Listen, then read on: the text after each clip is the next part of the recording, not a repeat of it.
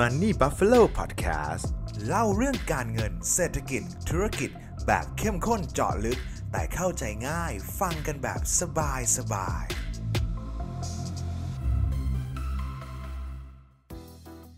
HP Subscription Solution ใหม่ที่ช่วยให้ SME และ Startup ลดค่าใช้จ่ายในการซื้ออุปกรณ์ IT ในราคาสบายๆ เริ่มต้นเพียงเดือนละ 631 บาท สนใจ HP for Business โทรสอบถามได้ที่ 1800 012 215เมื่อระบบธนาคารกำลังถูก disrupt ด้วยระบบการเงินใหม่ หรือที่เราเรียกว่า DeFi DeFi คืออะไร แล้วมันกระทบระบบธนาคารเดิมได้อย่างไร เรามาหาคำตอบด้วยกันนะครับ ยินดีต้อนรับทุกท่านนะครับ กลับเข้าสู่รายการ Money Buffalo Podcast นะครับ วันนี้นะครับผมก็มีเรื่องราวของระบบการเงินละกันนะครับ เป็นระบบการเงินรูปแบบใหม่นะครับ ที่ผมเชื่อว่าหลาย ๆ ท่านเนี่ยอาจจะมีคุ้นหูผ่านหูกันผ่านตากันมาบ้างแล้วกันนะครับ ชื่อของมันก็คือ DeFi นั่นเองครับ หรือว่าชื่อย่อของมันก็คือ Decentralized Finance นะครับ ชื่อนี้เนี่ยอาจจะเป็นชื่อที่ถ้าเกิดใครไม่ได้ใช้คำว่า ยุ่งเกี่ยวกับวงการคริปโตเคอเรนซีวงการบล็อกเชนนะครับอาจจะยังไม่ค่อยคุ้นหูเท่าไหร่นะครับ แต่ว่าผมเกริ่นในหัวพอดแคสต์นี้ไว้ก่อนเลยนะกันนะครับว่า DeFi หรือว่า Decentralized Finance ตัวนี้นะครับ น่าจะเป็นหมายเลขหนึ่งเลยนะครับกับการที่เข้ามา disrupt วงการการเงินทั้งโลกนะครับก่อนอื่นนะครับผมต้องอยากอยากจะเล่าวงการการเงินแบบ briefly นะครับแบบย่อๆก่อนนะครับว่าเมื่อก่อนเนี่ยเวลาที่เราอยากจะ ซื้อขายแลกเปลี่ยนเนี่ยมันไม่ได้มีระบบเงินเหมือนสมัยนี้นะเมื่อก่อนเนี่ยเวลาเราอยากได้อะไรนะครับเรามีอะไรเราก็ไปแลกสิ่งของกัน เราจะเรียกว่า barter trade นะครับสมมติว่าเราผมเลี้ยงหมูหนึ่งตัว ผมอยากกินวัวนะครับหมูหนึ่งตัวอาจจะมีมูลค่าที่มันแบบน้อยกว่าวัวหนึ่งตัวนะครับก็เอาหมูหนึ่งตัวนะครับอาจจะต้องแบบฆ่าหมูแบ่งครึ่งตัวเอ่อแบ่งให้หมูตัวหนึ่งแล้วฝั่งนู้นอาจจะต้องฆ่าวัว แล้วให้เรามาครึ่งตัวสมมุตินะครับ มันก็จะเป็นแบบของแลกของเรา เก็บกล้วยได้แลกแอปเปิลนู่นนั่นนี่ว่ากันไปนะครับ แต่ว่าข้อเสียของ barter trade นะครับเราก็รู้ว่ามันไม่คล่องตัวมันหามูลค่าได้ยากมันแบบบางทีก็เน่าเสียถูกไหมครับ ดังนั้นเนี่ยมนุษย์เราก็เลยคิดค้นสิ่งที่เรียกว่าสื่อกลางในการแลกเปลี่ยนขึ้นมาครับเมื่อก่อนเนี่ยเราก็ใช้หอยใช้เบี้ยนะครับใช้เงินใช้ทองใช้แร่เงินแร่ทองแล้วกันนะครับเดี๋ยวคนเข้าใจเงินผิด ใช้แบบ silver กับ gold นะครับเป็นส่วนเออเป็นสื่อกลางในการแลกเปลี่ยนนะครับแต่ว่าก็ต้องยอมรับว่าว่าเออเขาเรียกว่า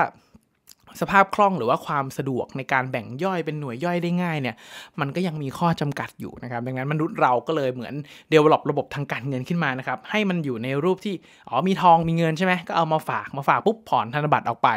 มันก็เหมือนกับคนมีทอง 1 บาท ก็สามารถแลกเงินได้ก้อนหนึ่งก็เอาเงินไปจับจ่ายใช้สอยตาม คือมันแบ่งเป็นหน่วยย่อยได้ง่ายสภาพคล่องดีกว่า แล้วก็ไม่ต้อง กลัวแบบพวกขโมยขโจรด้วยนะครับ ทีนี้เนี่ยเมื่อพอเราเมื่อก่อนเนี่ยเรื่องการงงการเงินเนี่ยมันยังไม่ได้ซับซ้อนขนาดนี้แต่เดี๋ยวนี้เนี่ยเอ่อการทำธุรกรรมทางการเงินนะครับมันไม่ได้มีแค่การซื้อและขาย ผมซื้อโทรศัพท์หนึ่งเครื่องผมจ่ายเงิน มันไม่ได้มีแค่นั้นนะครับ แต่ว่าคำว่าระบบการเงินเนี่ยมันมีทั้งการกู้ การให้กู้ การฝาก การลงทุนการแลกเงินเป็นสกุลเงินต่างๆ เพราะอย่าลืมว่าโลกเราเนี่ยมีสกุลเงิน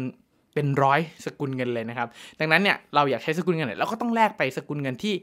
บริเวณนั้นอีโคซิสเต็มนั้นๆ ใช้งานอยู่นะครับ ไม่ได้แตกต่างกันเลยครับ เราอยู่เมืองไทยเราก็ต้องใช้เงินบาทอยู่ที่สหรัฐอเมริกาเราก็ต้องใช้เงิน US ดอลลาร์เราอยู่ที่ญี่ปุ่นเราก็ต้องใช้เงินเยนนะครับแต่ทีนี้เนี่ยครับเวลาที่เราเขาเรียกว่า ทำการแลกเปลี่ยนเนี่ยครับบางทีเรื่องของสภาพคล่องต่างๆ เรื่องของความน่าเชื่อถือเรื่องของความกลัวต่างๆ อย่างเช่นสมมตินะครับว่าเฮ้ยผมอยากให้คนคนหนึ่งกู้เงินเนี่ยแต่ว่าเฮ้ยไม่มั่นใจว่าคนนี้เขาจะแบบคืนเราไหวหรือเปล่า นะครับ เอ้ยมันจะชิ่งเงินเราไหมนะครับ มันก็เลยเกิดสิ่งที่เรียกว่าตัวกลางขึ้นมานะครับ ตัวกลางที่ผมพูดถึงเนี่ยถ้าแบบช็อตคัดเลยนะครับไม่ต้องยืดยาวสาวความยืดมากเนี่ยครับ มันก็คือธนาคารนะครับ ธนาคารเนี่ยครับถูกตั้งระบบธนาคารเนี่ยถูกตั้งขึ้นมา เพื่อเป็นตัวกลาง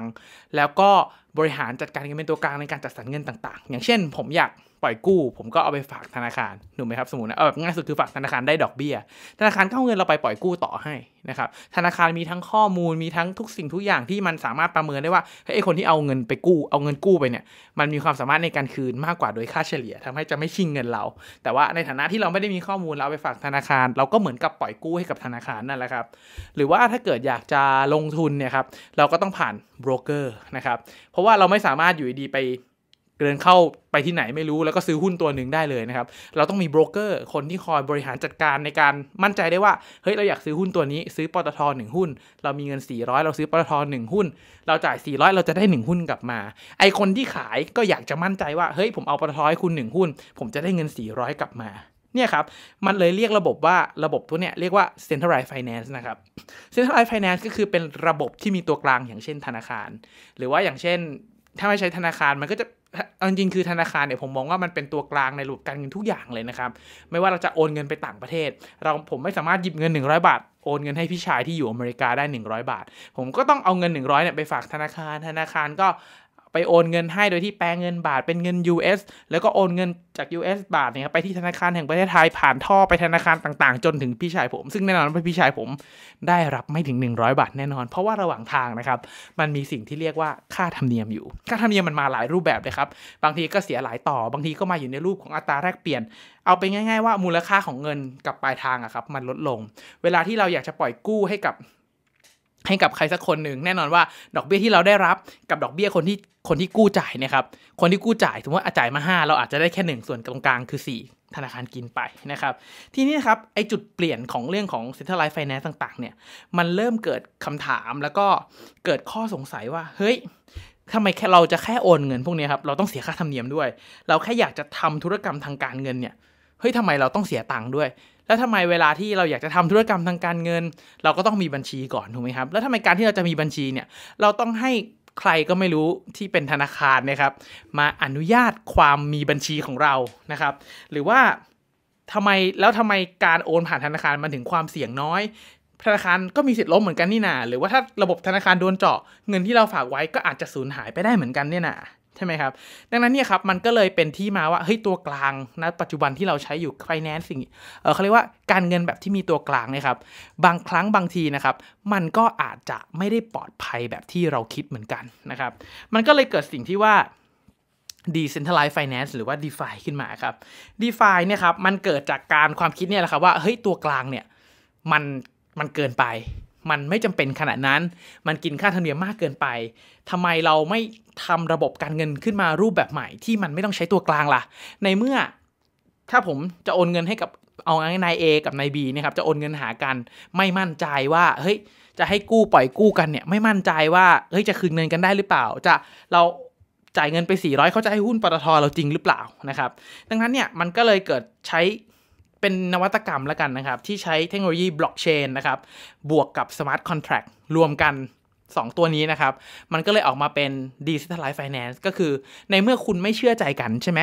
คุณก็ไม่ต้องเชื่อใจกันเลย เวลาคุณทำอะไรก็ตรวจสอบให้หมดทุกคน ระบบของบล็อกเชนนะครับบล็อกเชนเนี่ยครับมันคือระบบที่ผมใช้คำนี้ดีกว่าถ้าเกิดสำหรับใครเคยที่ใช้ BitTorrent นะครับในการดาวน์โหลดข้อมูลเนี่ยบล็อกเชนมีความคล้าย BitTorrent มาก ๆ ครับ คือให้ทุกคนสามารถ แชร์ข้อมูลแบ่งปันข้อมูลต่างๆ กันได้ โดยที่ไม่ต้องใช้ตัวกลาง ทุกคนจะเห็นข้อมูลเหมือนกัน ทุกคนจะเข้าถึงข้อมูลได้อย่างอิสระ และทุกคนสามารถเข้าถึงข้อมูลได้อย่างรวดเร็วแบบเร็วครับแบบโอนเงินตอนนี้นะครับไปที่อเมริกาเนี่ยใช้เวลาแค่ 30 วิก็คือผมสมมติว่าผมโอนเงิน สมมติบิตคอยแล้วกันโอนหนึ่งบิตคอยปื้ไปให้พี่เนี่ยประมาณ 15 วิ30 วินะครับถึงแล้วเทียบกับเมื่อก่อนเนี่ยถ้าผมจะโอนเงินไปให้พี่ชายเนี่ยอาจจะต้องใช้เวลา 2 วันทำการคำถามคือเงินตอนเงินผมมันลอยอยู่ที่ไหนบนโลกครับเนี่ยว่ากว่ามันจะไปถึงพี่ชายผมเนี่ยมันใช้เวลานานจังนะครับเขาก็เลยเกิด ดีเซ t ไลฟ์ไฟแนนซ์ขึ้นมาทำให้มันเกิดการโปร่งใสมากขึ้น ใช้ระบบบล็อกเชนที่ให้ทุกคนนะครับ สามารถตรวจสอบการโอนเงินได้หมดเลย ถ้าใครอยากจะตรวจสอบอยากจะเข้าถึงข้อมูลนะครับ แล้วก็ให้ทุกคนเนี่ยเข้าถึงข้อมูลได้อย่างรวดเร็ว มันก็เลยเกิดสิ่งที่เรียกว่าดีเซ t ไลฟ์ไฟแนนซ์โดยที่ไม่ต้องมีตัวกลางขึ้นมานั่นเองครับอยากกู้เงินกันใช่ไหม ไม่ต้องกลัวว่าผมเอาเงินให้เขา1เหรียญสมมตินะครับหนึ่งเหรียญอะไรสักอย่างหนึ่งเขาก็ต้องส่งอะไรบางอย่างกลับมาให้ผมเป็นดอกบ้งดอกเบี้ยเป็นอะไรว่ากันไป โดยที่ไอ้เงื่อนไขตรงนี้ครับมันจะ settle ก็ต่อเมื่อก็ต่อเมื่อเออทั้งสองฝ่ายเนี่ยครับทำธุรกรรมตามตกลงตาม smart contract เรียบร้อยแล้ว transaction ถึง success นะครับ โดยที่ไม่ต้องกังวลว่าโอนเงินให้ตัวกลางก่อนตัวกลางถือไว้ คนนี้โอนเงินมาที่ตัวกลางตัวกลางโอนเงินมาให้ผมอีกทีนึงเนี่ย อันนี้ครับไม่จำเป็นเลย มันสามารถตัดตัวกลางทิ้งได้เลยนะครับ decentralized finance เนี่ย ซึ่งแน่นอนครับว่าการมาของ decentralized finance นะครับมันมา disrupt ระบบธนาคารที่เราใช้อยู่ทุกวันนี้อย่างแน่นอนนะครับ แต่ว่าก็ต้องบอกว่า decentralized finance ณปัจจุบันนะครับ ก็ยังมีวอลุ่มมีขนาดตลาดนะครับที่ยังไม่ได้ใหญ่มากเมื่อเทียบกับ โวลูมของธนาคารณปัจจุบันนะครับง่ายๆว่าช่วงเนี้ยมันเพิ่งเริ่มต้นมันเพิ่งมาเท่านั้นเองนะครับผมอยากจะยกตัวอย่างอย่างนี้แล้วกันนะครับว่าสมมุตินะครับว่าถ้าเกิดเรา เราใช้บริการธนาคาร คือเราไปฝากเงินเราได้ดอกเบี้ยสมมติ1%นะครับ ผู้กู้นะครับกู้เงินอาจจะเสียดอกเบี้ย 8%แบบมีหลักประกันสมมุตินะฮะ มันก็จะมีสเปซส่วนต่างตรงเนี้ย7%ที่มันหายไปในระบบนะครับ ไอ้ไอ้เจ็ดเปอร์เซ็นต์เนี่ยมันก็จะเป็นทั้งค่าใช้จ่ายดำเนินงานของธนาคาร ทั้งค่าตรวจสอบ ค่าเก็บ Data ค่าทุกสิ่งทุกอย่างของธนาคารเลยนะครับ ทีนี้เนี่ยไอ้พวกเนี้ยมันก็รวมถึงผลกำไรของธนาคารด้วย แต่ทีนี้ครับเมื่อตัดตัวกลางออกนะครับ ถ้าสมมติว่าเราไปใช้ระบบ d e f าในการในการ ให้ให้ให้กู้กับกู้ยืมเงินกันแล้วกันนะครับ ผมกาบแอบกระซิบเลยว่าดอกเบี้ยสูง ให้ค่อนข้างค่อนข้างดีเลยนะครับ ถ้าใครแบบได้ศึกษาเรื่องดีฟาจริง ๆ เนี่ยออดอกเบี้ยที่เราได้รับแทบ แทบจะเป็น 100%ของที่ผู้กู้จ่ายเลยนะครับ มันมีสเปดนิดเดียวที่เป็นค่าธรรมเนียมสำหรับการให้ทุก มันจะมีค่าธรรมเนียมสำหรับคนที่ proof work ก็คือคนที่เข้ามาตรวจสอบแล้วก็ยืนยัน transaction ให้กับเราครับ คล้ายๆระบบ BitTorrent ที่ทุกคนต้องเข้ามายืนยัน แต่เราต้องจ่ายค่าธรรมเนียมให้ให้กับคนที่เข้ามายืนยัน transaction ด้วย แต่ผมบอกได้เลยว่ามันต่ำมาก แทบจะ เกือบร้อยเปอร์เซ็นต์นะครับที่ดอกเบี้ยที่เขาจ่ายแล้วเข้าตัวเราเลยนะครับดังนั้นเราจะเห็นได้ว่าการตัดตัวกลางออกครับมันช่วยทำให้ดอกเบี้ยฝั่งคนที่กู้ครับก็จ่ายน้อยลง ส่วนคนที่ไปฝากเงินหรือที่อยากได้ดอกเบี้ยนะครับก็ได้เยอะขึ้นแบบมีน้ำมีเนื้อเลยนะครับ อันนี้แหละครับมันเลยน่าสนใจมากๆนะครับสำหรับ d e f านะครับหรือว่าจะเป็นในแง่มุมของการแลกเปลี่ยนเงินตรานะครับไอ้แลกเปลี่ยนเงินตราเนี่ยผมว่าถ้าเกิดในยุคโควิดเนี่ยอาจจะเบาๆกันลงนะครับแต่ว่าถ้าเกิดในช่วงปกติเนี่ยการแลกเปลี่ยนเงินตราเนี่ยผมเชื่อว่าทุกท่านน่าจะมีความ suffer กับมันประมาณนึงนะครับอย่างแรกเลยก็คือมันไม่สะดวกครับเอ่อถ้าเราอยากไปแลกเงินเนี่ยอย่างแรกคือเราต้องไปที่สาขาธนาคารเพื่อแลกเงินแต่หลังๆเนี่ยเริ่มมีแบบ travel card เริ่มมีอะไรทำออนไลน์ได้นะครับแต่ว่า อัตราแลกเปลี่ยนก็เอาเรื่องอยู่เหมือนกันนะครับ ค่อนข้างสูงเราจะเบิกเงินออกมาก็มีค่าธรรมเนียมเรียกได้ว่าทำอะไรก็มีค่าธรรมเนียมเต็มไปหมดนะครับ ทีนี้เนี่ยครับมันก็มีระบบเรียกว่าระบบ d e f าตัวหนึ่งชื่อว่า Uniswap แล้วกันนะครับ ลองไปศึกษาเพิ่มเติมกันดูเนี่ย มันสามารถแลกเปลี่ยนกันได้ หรือว่าถ้าเกิดเรามีเหรียญเนี่ยเราก็สามารถไปฝาก Uniswap ได้ให้เขามีเหรียญมากขึ้นแล้วเขาก็เอาเหรียญเราไปแลกไปเปลี่ยนเหมือนกับเหมือนกับ กู้ยืมเงินเราอะครับ ไปทำธุรกิจของเขา เราก็ได้ดอกเบี้ย ซึ่งผมบอกว่าดอกเบี้ยเนี่ยค่อนข้างน่าสนใจเลยนะครับ แล้วไอ้สิ่งที่มันเขาเรียกว่าไอสิ่งที่มันอยู่เบื้องหลังระบบของ DeFi เนี่ยจริงๆ ผมอยากให้ทุกท่านแยกก่อนนะครับ คือ d e f าเนี่ยครับมันอยู่บนเทคโนโลยีที่เรียกว่าบล็อกเชนใครรู้จักบิตคอยนะครับบิตคอยไม่ใช่บล็อกเชนนะครับบิตบิตคอยใช้บล็อกเชนในการทำทราน s a c t i o n นะครับ ดังนั้นเนี่ยบล็อกเชนเนี่ยครับมันเลยเป็น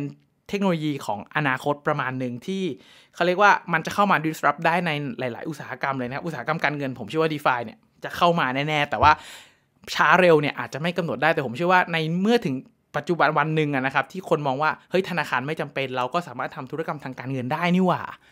เดี๋ยวมันจะค่อยๆ disrupt ตัวธนาคารด้วยตัวมันเองแล้วเดี๋ยวธนาคารเขาอาจจะต้อง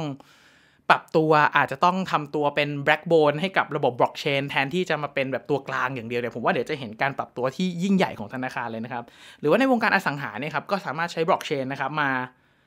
ยืนยันในการโอนโฉนดก็ได้ไม่ต้องไปที่ดินก็ได้นะครับว่าเอ้ยผมโอนโฉนดให้กับคนชื่อ B และชื่อ B จ่ายผมให้ผมหนึ่งล้านและโฉนดนี้เป็นของ B แล้วนะทุกคนในระบบวงวงของบล็อกเชนนั้นๆนะก็จะรู้ทันทีนะครับว่า B เป็นเจ้าของแล้วโดยสมบูรณ์ โดยที่ไม่ต้องมานั่งเซ็นเอกสารค้นไฟล์เอกสารดิจิตอลไฟล์อะไรให้วุ่นวายนะครับหรือว่าจะเป็นวงการแพทย์อันนี้ผมว่าผมว่าดีมากวงการแพทย์บล็อกเชนเนี่ยก็เข้ามา disrupt เหมือนกันนะครับว่าเฮ้ยข้อมูลคนไข้เนี่ยทำไมเราต้องไปขออนุญาต โรงพยาบาลนู้นโรงพยาบาลนั้นโรงพยาบาลนี้ทั้งที่ข้อมูลคนไข้เนี่ยจริงๆมันคือ privacy ของตัวเรานะครับ ถ้าเราเอาข้อมูลเราเนี่ยขึ้นบล็อกเชนไว้นะครับ ไม่ว่าโรงพยาบาลไหนมาขอข้อมูลข้อมูลยาต่างๆเนี่ยก็สามารถดึงข้อมูลจากบล็อกเชนได้เลยผมว่าอันนี้ดีมากๆนะครับ หรือว่าจะเป็นวงการการศึกษาไหมครับ ก็ผมว่าปัญหาหนึ่งที่ถูกพูฟแก้ไขแน่นอนเรื่อง transcript ปลอมเรื่องของวุฒิปลอมเนี่ยไม่สามารถทำได้แน่นอน เพราะว่ามันสามารถพูฟได้ว่าเฮ้ยบุคคลคนนี้เนี่ยเรียนจบจริงหรือเปล่าทางสคริปต์เป็นอย่างไรนะครับ จะเห็นได้ว่าบล็อกเชนที่เป็นกระดูกสันหลังของหลาย ๆ อย่างเนี่ย ตัวนี้แหละครับ เป็นเทคโนโลยีในอนาคตที่ผมมองว่าน่าจะเข้ามา disrupt ในหลากหลายวงการ โดยเฉพาะวงการทางการเงินเนี่ย ด้วยด้วยด้วยความที่ว่าผมอยู่ในวงการการเงินมาตลอดการทำงานแล้วกันนะครับ ผมก็จะเห็นว่าสภาพแวดล้อมของ ระบบการเงินณปัจจุบันนะครับเป็นอย่างไรแล้วการมาของบล็อกเชนนะครับมันทำให้ตัวกลางต่างๆ ไม่ว่าจะเป็นโบรกเกอร์ไม่ว่าจะเป็นตัวธนาคารเองเนี่ยครับกำลังประสบความลำบากขนาดไหนนะครับเดี๋ยวเราจะได้เราน่าจะได้เห็นนะครับว่าธนาคารจะต้องปรับตัวเข้าสู่บล็อกเชนยังไง หรือเอาบล็อกเชนมาใช้ทำธุรกิจอย่างไรได้บ้างนะครับสุดท้ายนะครับผมก็อยากจะรบกวนทุกท่านจริงๆครับให้กดไลค์กดแชร์กด subscribe นะครับในทุกๆ ช่องทางที่ทุกท่านรับฟังนะครับเพื่อเป็นกำลังใจให้กับตัวผม เป็นกำลังใจให้กับทีมงาน Money Buffalo นะครับเพื่อตั้งใจผลิตชิ้นงานดีๆต่อไปนั่นเองนะครับยังไงก็ขอให้ทุกท่านโชคดีกับการลงทุนนะครับ